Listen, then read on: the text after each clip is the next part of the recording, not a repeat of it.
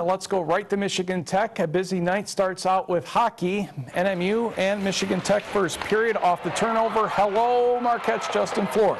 He gets his 12th of the year, even strength goal, and it's 1-0 Wildcats. 42 seconds later, Tyler will get the puck over to Kyle Fulmer, and he slides that through. Josh Robinson, 8-2-0 NMU lead.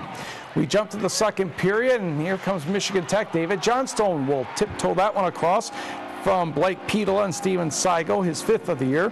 Less than two minutes later, still on a five-on-three power play or five-on-four, David Johnstone would strike again.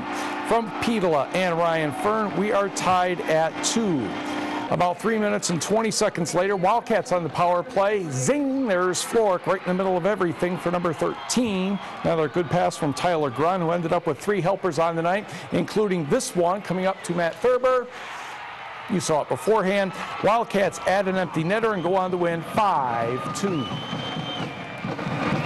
5-2 great crowd.